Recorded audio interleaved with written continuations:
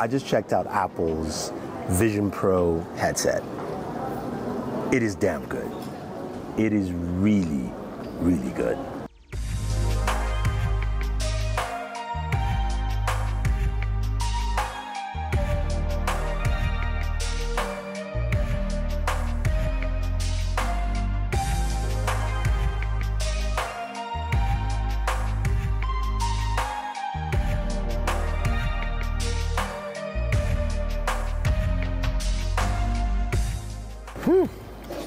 Okay, how do I start this video properly?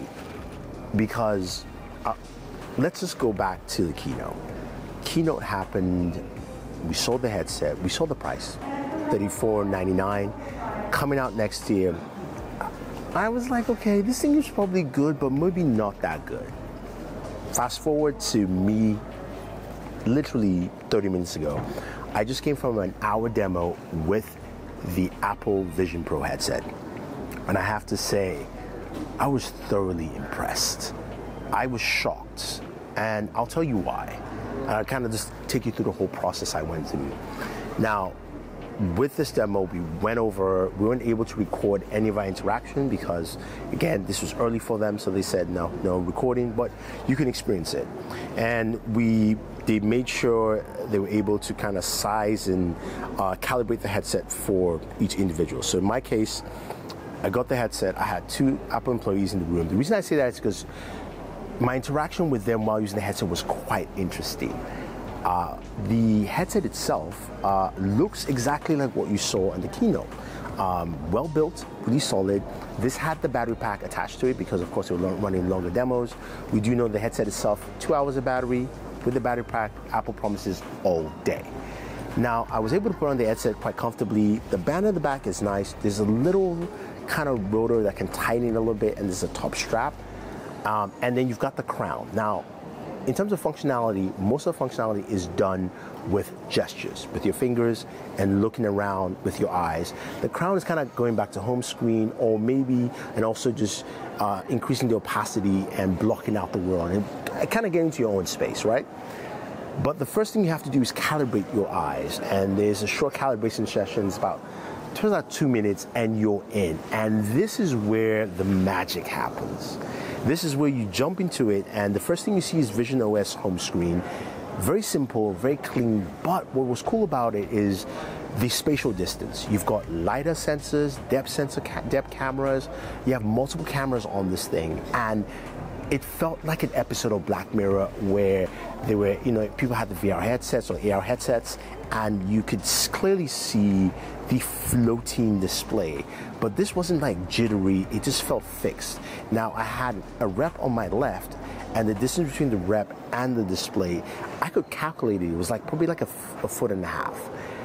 And I liked that it was there, it was physically there. And then came using gestures. I thought that would be difficult, right? I thought it wouldn't work well. That was one of my biggest concerns. So initially, you know, uh, to tap on, on, an icon or open something, you have to just basically tap with your fingers. So I had my, my hand in front of me most of the time just because know, I figured, hey, the cameras are in front, I'll do this.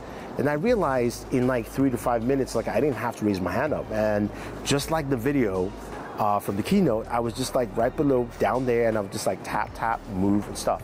So you could you could tap, drag, drop. You can move windows around. So multitasking is really easy. I thought it would be difficult. Now this also helps because you've got sensors around your eyes while your headset, you're in the headset. So that tracks that. You've got sensors outside.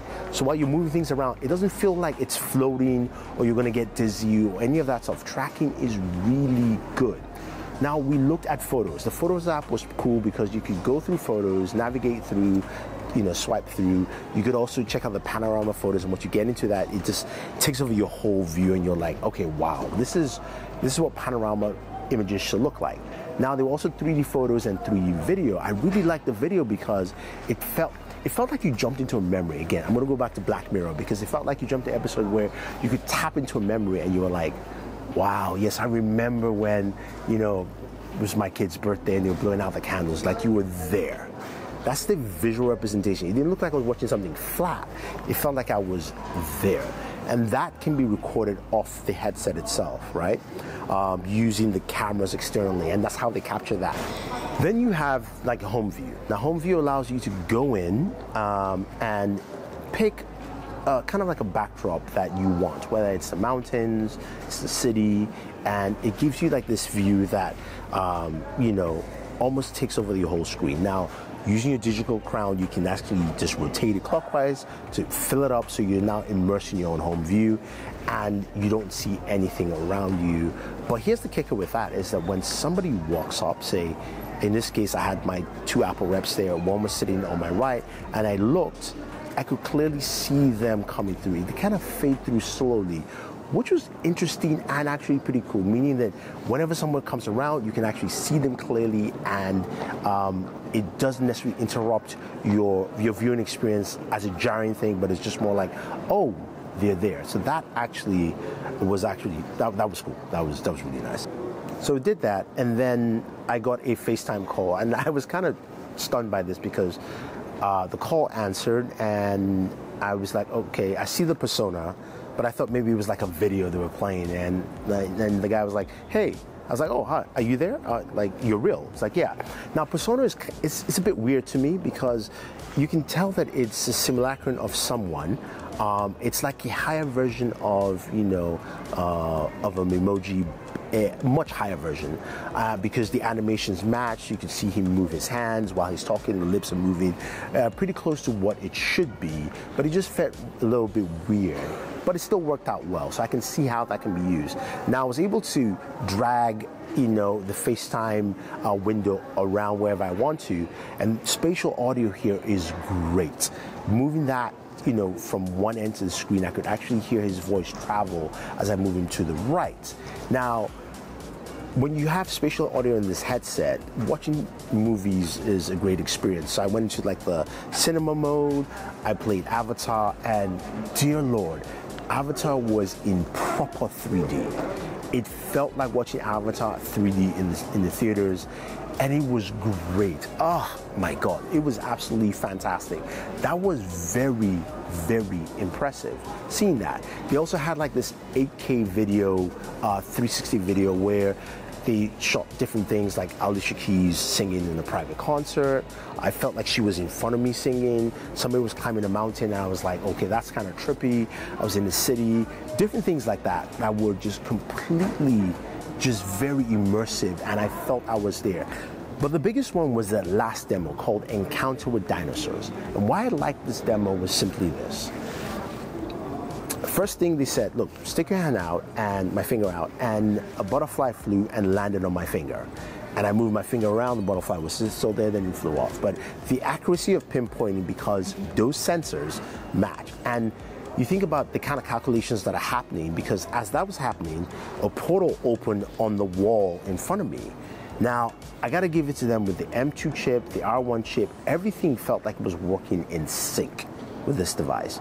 And when that portal opened up, it opened to this prehistoric world where there was like a dinosaur running around and finally ran away, and then a massive T Rex came and it walked towards the portal. So there's a portal, and I can see the world of the dinosaur there, and this is my world. So think about it from like a content creation perspective. Like you can create a portal to different worlds, and you know, told me they, they said I could get up and walk closer, so I picked it up.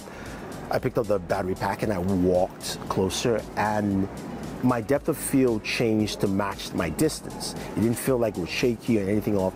The portal was still where it was at the wall, but the dinosaur walked through halfway and I felt I had a dinosaur in front of me. Not like it's it's hard to explain. It's not cheesy, you know, AR or cheesy, you know, 3D rendering. It felt realistic. I mean, graphically, yes, it you know doesn't look like a real dinosaur, but it felt really there, and I and I was able to get close to it, and I and as I started thinking, I'm like, think about. You know, they talked about partnerships with Disney, or like in my case, look, I'm a DC fan, right? Uh, I'm going to watch, watch The Flash. And being able to run into the world where The Flash is creating chaos and, you know, changing things around. Or Harry Potter, for instance, right? You could open a portal to a different world to go to Hogwarts, that kind of stuff. Like, that's what this thing can do. And if I were to ask the question, if you ask me the question, is it worth the 3500? Yes. As a piece of hardware and what I experienced, it definitely was it. I, I, I am shocked that I am this impressed. I'm really impressed with what they actually showed, how it was implemented, the fact that things worked. My biggest thing again, gestures. It worked really well. Is it for everyone? I don't know. We'll have to wait and see when it launches, but Apple is going to shake up the whole industry because this is not like the iPhone to me. I think this is bigger, but also might take some time. But the Apple Vision Pro is legit. Anyway, guys, uh, hope you liked it. I've got a flight to catch. I'm heading back to uh, New Jersey. So you see this, this video in the morning.